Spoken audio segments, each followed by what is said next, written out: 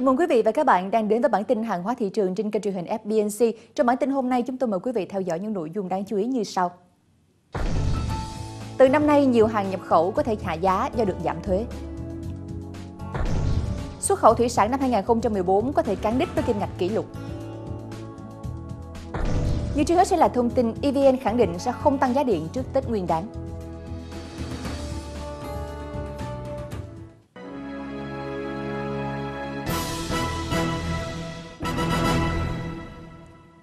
Ngay bây giờ sẽ là những thông tin chi tiết. Thưa quý vị, trả lời đề xuất tăng giá điện của tập đoàn điện lực EVN mới đây, Bộ Công Thương cho biết tập đoàn này sẽ được phép điều chỉnh giá nếu như giá thành đầu vào điện tăng từ 7 đến 10%. Tuy nhiên, đại diện EVN cho biết sẽ không điều chỉnh trước Tết Nguyên đán Ất Mùi. Theo EVN, Bộ Công Thương đang xem xét đề xuất tăng giá bán lẻ điện trong nước. Theo bộ này, EVN chỉ được tăng giá điện khi các chi phí đầu vào tăng từ 7 đến 10%, nhưng nếu chi phí giảm, giá điện cũng phải điều chỉnh giảm. Theo Cục Điều tiết Điện lực Bộ Công Thương, giá thành điện trong năm 2015 sẽ được tính toàn bộ chu kỳ giá nguyên liệu đầu vào từ thời điểm tăng giá điện gần nhất, tức là 1 tháng 8 năm 2013. Trả lời câu hỏi về tác động của việc giảm giá dầu, đại diện EVN cho biết giá dầu giảm không ảnh hưởng nhiều đến giá bán điện, do việc này chỉ có lợi cho một số ít nhà máy điện chạy dầu hoặc nguyên liệu tính theo dầu thế giới. Nhưng theo năm vừa qua, giá mua điện của các nguồn điện chạy than và khí đã được điều chỉnh tăng theo lộ trình của chính phủ. Ngoài ra, tập đoàn này còn đang lỗ hơn 8.800 tỷ đồng do chênh lệch tỷ giá. Thưa quý vị, bước sang năm 2015, người tiêu dùng có thể sẽ được hưởng lợi nhiều hơn khi mua sắm các loại hàng hóa nhập khẩu nhờ vào các lộ trình cắt giảm thuế quan mà Việt Nam đã cam kết với quốc tế. Theo cam kết của Việt Nam khi thực hiện Hiệp định Thương mại Hàng hóa ASEAN, ATIGA giai đoạn 2015-2018 từ ngày 1 tháng 1 năm 2015, hàng ngàn mặt hàng nhập khẩu từ các nước Đông Nam Á sẽ không phải chịu thuế nhập khẩu. Qua đó, giá của nhiều mặt hàng tiêu dùng sẽ rẻ hơn. Cụ thể, có 1.715 dòng thuế giảm từ mức 5% xuống còn 0%. Các nhóm mặt hàng trong diện này thuộc các ngành nông nghiệp nông sản như thủy hải sản, thịt gia súc, gia cầm, nhiên liệu như là xăng dầu, than vân vân. Ngoài ra, cũng từ năm nay, hàng loạt mặt hàng nhập khẩu từ Trung Quốc, Ấn Độ và Hàn Quốc, New Zealand cũng sẽ được cắt giảm thuế nhập khẩu theo các hiệp định thương mại hàng hóa. Cụ thể, 3.691 dòng thuế sẽ được giảm xuống 0%, tập trung vào các nhóm hàng dầu mỡ động thực vật, chất dẻo, chất dẻo nguyên liệu, đồ nội thất, các sản phẩm từ gỗ, máy móc thiết bị, linh kiện phụ tùng, máy vi tính và các sản phẩm linh kiện điện tử, vải may mặc, nguyên phụ liệu dệt may, da dày, sản phẩm dệt may và một số sản phẩm sắt thép. Tăng hơn gấp đôi năm ngoái cả về lượng lẫn giá trị, tổng kim ngạch nhập khẩu ô tô nguyên chiếc năm 2014 chính thức lập đỉnh với 72.000 chiếc và 1,57 tỷ đô la. Mức kim ngạch nhập khẩu ô tô tăng mạnh trong 2 tháng cuối năm chính là lực đẩy chủ yếu giúp kim ngạch nhập khẩu ô tô của cả năm 2014 xác lập kỷ lục. Theo báo cáo mới nhất của Tổng cục Thống kê, lượng ô tô nhập khẩu về nước tháng 11 đạt 10.000 chiếc, trong khi giá trị kim ngạch ở mức 200 triệu đô la. Sang tháng 12, nếu như số lượng giữ đồng mức với tháng 11, thì theo ước tính, giá trị kim ngạch tiếp tục tăng đáng kể, lên mức 227 triệu đô la. Đây mới chỉ là con số ước tính của Tổng cục Thống kê và theo đó hoàn toàn có thể thay đổi sau khi số liệu đầy đủ được tập hợp. Và vì vậy cũng không loại trừ khả năng con số thực tế thậm chí còn vượt qua con số ước tính. Và với đỉnh mới được xác lập, thị trường ô tô nhập khẩu đã chính thức bước vào một giai đoạn mới, hướng đến một ngưỡng mới. Nhằm tăng khả năng cạnh tranh cho cao su xuất khẩu, đại diện Tập đoàn Công nghiệp Cao su Việt Nam vừa đề xuất Phòng Thương mại và Công nghiệp Việt Nam VCCI kiến nghị Bộ Nông nghiệp Phát triển Nông thôn xây dựng một tiêu chuẩn chung cho mũ cao su mà các đơn vị kinh tế khác có thể hướng đến. Theo ông Võ Sĩ Lực, Chủ tịch Tập đoàn Công nghệ Cao su Việt Nam, giá cao su xuất khẩu của Việt Nam đang thấp hơn giá cao su xuất khẩu từ các thị trường khác như Thái Lan, Malaysia. Hơn nữa, do chất lượng không ổn định, nên cao su Việt Nam rất khó đi vào các thị trường khác, mà chủ yếu phụ thuộc vào Trung Quốc. Hiện nay, Việt Nam đã ban hành một tiêu chuẩn quốc gia cho mũ cao su, nhưng theo đánh giá của ông Lực, đây là một tiêu chuẩn rất khó đạt được với các cơ sở chế biến nhỏ. Các cái thành phần kinh tế khác thì nó chiếm rất là lớn, khoảng 70% nhưng mà các cái sản phẩm của các ngành kinh tế khác thì hiện nay nó chưa định chuẩn theo tiêu chuẩn Việt Nam. Nên chủ yếu là dựa vào cái thị trường Trung Quốc. Vì vậy, nếu chúng ta định hướng sản phẩm ra các thị trường khác như tập đoàn, các cái tiêu chuẩn chất lượng theo của của Việt Nam đã ban hành, thì các thành phần kinh tế khác, đặc biệt là tư nhân và tiểu điền họ theo không có kịp. Cho nên cái chỗ này đề nghị hiệp hội các doanh nghiệp và ngay cả bản thân cái chúng tôi cũng đề nghị bộ nông nghiệp phải kết nối lại để xây dựng cái mẫu cao su là thương hiệu của Việt Nam chứ không phải thương hiệu của riêng tập đoàn. Ước tính, Tập đoàn Công nghiệp Cao su Việt Nam đang sản xuất khoảng 350.000 tấn cao su trong tổng số gần 1 triệu tấn cao su của cả nước. Trước đề xuất của Tập đoàn Công nghiệp Cao su Việt Nam, ông Vũ Tiến Lộc, Chủ tịch của VCCI cho biết, VCCI sẽ có cuộc làm việc trực tiếp với Bộ trưởng Bộ Nông nghiệp và Phát triển Nông thôn Cao Đức Phát xung quanh một chương trình hỗ trợ nông sản xuất khẩu. Trong đó, có thể sẽ bàn cụ thể hơn về vấn đề xây dựng thương hiệu cho các sản phẩm nông sản chính.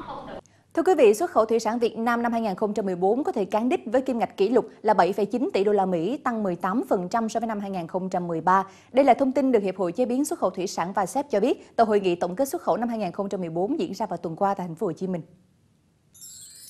Theo VASEP, 11 tháng đầu năm nay, xuất khẩu thủy sản cả nước đạt trên 7,2 tỷ đô la Mỹ, tăng 17% so với cùng kỳ năm ngoái. Ước xuất khẩu cả năm sẽ đạt khoảng 7,92 tỷ đô la Mỹ, vượt xa so với mục tiêu 7 tỷ đô la Mỹ đặt ra từ đầu năm. Trong đó, xuất khẩu tôm ước đạt 3,9 tỷ đô la Mỹ, tăng 28% so với năm 2013. Xuất khẩu cá tra ước đạt 1,7 tỷ đô la Mỹ, tăng nhẹ so với năm ngoái. Ngành tôm đóng góp lớn nhất cho tổng kim ngạch xuất khẩu của ngành, chiếm đến gần 60%. Về thị trường, nhìn chung từ đầu năm đến nay, xuất khẩu thủy sản Việt Nam sang tất cả các thị trường đều tăng trưởng khả quan từ 9 đến 47%. Kim ngạch xuất khẩu thủy sản chưa bao giờ chúng ta đạt cái mức cao như thế. Trong đó thì chúng ta đã nhập đến 1 tỷ đô la nguyên liệu. Và chính điều đó nó cũng là một trong các yếu tố làm cho cái kim ngạch xuất khẩu nó tăng lên. Thứ hai nữa là cái mặt hàng tôm thì chúng ta có lợi thế là uh, ít bệnh hơn các nước trong khu vực và chính vì vậy mà giá tôm cao và chúng ta có sản lượng tôm tốt thì cái xuất khẩu tôm ta đạt gần 4 tỷ đô la. Đấy là có lẽ là hai hai yếu tố chính để mà làm nên cái uh, con số đẹp của ngành thủy sản. Tuy nhiên, theo VASEP, con số 7,9 tỷ đô la Mỹ chưa hẳn được coi là thành công của ngành bởi trong năm qua, ngành cũng đối mặt với không ít khó khăn. Thách thức như thuế chống bán phá giá tôm từ thị trường Mỹ, dịch bệnh trên tôm chưa được kiểm soát, cảnh báo kháng sinh từ các thị trường nhập khẩu. Đặc biệt với cá tra, hệ lụy của việc phát triển không cân đối cung cầu trong các năm trước vẫn còn. Đánh giá về triển vọng năm 2015, đa số các doanh nghiệp đều cho rằng năm 2015 sẽ vẫn là năm khó khăn với ngành thủy sản do tác động của nhiều yếu tố. Là trên thế giới hiện nay có hai cái mà bị ảnh hưởng lớn nhất. Một là giá dầu giảm. Thứ hai là toàn bộ các ngành hàng nông sản trên thế giới giảm từ 30 đến 40 phần trăm. Giá dầu thì coi như là giảm hơn nữa.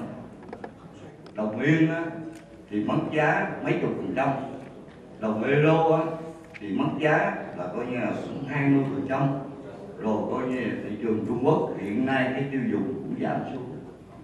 Năm 2015, VASEP dự báo xuất khẩu thủy sản sẽ đạt 8 tỷ đô la Mỹ, trong đó xuất khẩu tôm vẫn ở mức 4 tỷ đô la Mỹ, cá tra cũng ở mức 1,77 tỷ đô la Mỹ, tương đương năm 2014. Cũng tại hội nghị tổng kết xuất khẩu thủy sản năm 2014, ông Nguyễn Hữu Dũng, Phó Chủ tịch Hiệp hội Chế biến và Xuất khẩu Thủy sản VASEP cho biết, Phó Thủ tướng Hoàng Trung Hải đã đồng ý lùi thời hạn áp dụng Nghị định 36 về quản lý hoạt động ngành cá tra đến cuối năm 2015 thay vì áp dụng vào đầu năm. Theo ông Dũng, mặc dù chưa có văn bản chính thức nhưng thông tin này là tin vui với các doanh nghiệp chế biến cá tra. Chúng tôi chờ cái eh, quyết định chính thức của chính phủ, đó là chính phủ đồng ý việc hoãn thi hành cái nghị định 56 uh, ờ, trong năm 2000 cho đến cuối năm 2015.